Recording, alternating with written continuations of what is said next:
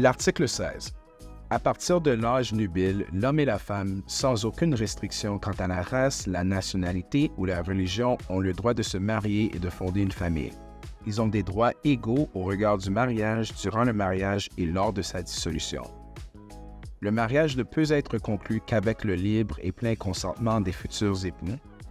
La famille est l'élément naturel et fondamental de la société et a droit à la protection de la société et de l'État.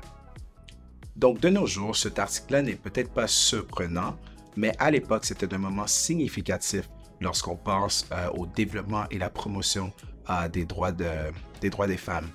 Donc, euh, vous allez peut-être également remarquer que dans plusieurs textes dans, dans, la déclaration, on voit le terme toute personne ou on voit le terme chacun. Mais ce texte-ci ou cet article-là est très important et il est puissant dans le sens qu'il réfère aux hommes et aux femmes spécifiquement. Et donc, ceci vient vraiment ancrer euh, le concept ou le principe de la parité entre les sexes.